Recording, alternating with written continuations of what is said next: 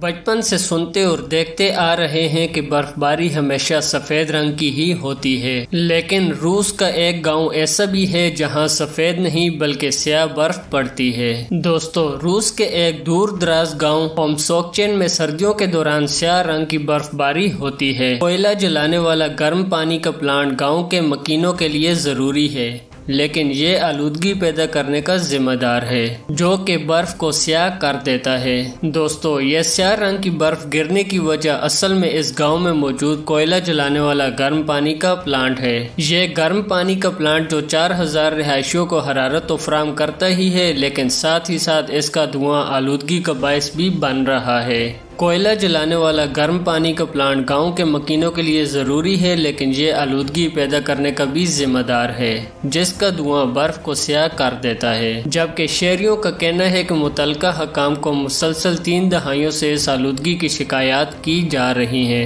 ताम इसके बावजूद कोई कार्रवाई नहीं हो रही। दोस्तों, आप सभी लोगों से गुजारिश है कि अगर आपने अभी तक हमारे चैनल को सब्सक्राइब नहीं किया तो ज़रूर सब्सक्राइब कर लें।